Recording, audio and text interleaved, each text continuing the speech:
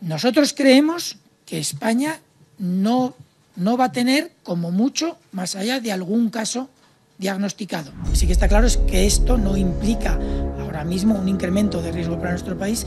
En España ni hay virus, ni se está transmitiendo la enfermedad, ni tenemos ningún caso actualmente. En España tenemos a fecha de hoy 46 casos, incluyendo eh, los dos casos que tenemos ya dados de alta y que no suponen ningún riesgo. ¿Qué le diría usted a una mujer que está dudando en ir o no a la manifestación del 8 de marzo? ¿Qué le va la vida? No es necesario ahora mismo en España elevar el, el nivel de alerta. ¿Qué le va a su vida? Yo no le recomiendo eh, a nadie nada relacionado con una manifestación. Cerrar colegios ahora mismo eh, no reduciría el riesgo de transmisión de forma significativa. ¡Que viva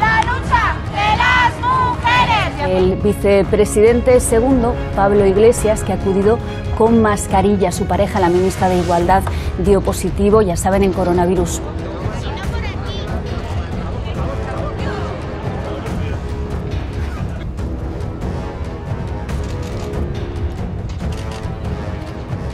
que algo se cuece por detrás cuando han hecho así por la puerta de atrás, meterle en el CNI, cambiar ese decretito para que nadie nos enterásemos con el coronavirus. El vicepresidente Iglesias coordina a partir de hoy los servicios sociales de todo el país. Le cedo la palabra, o le paso la palabra al vicepresidente segundo del gobierno.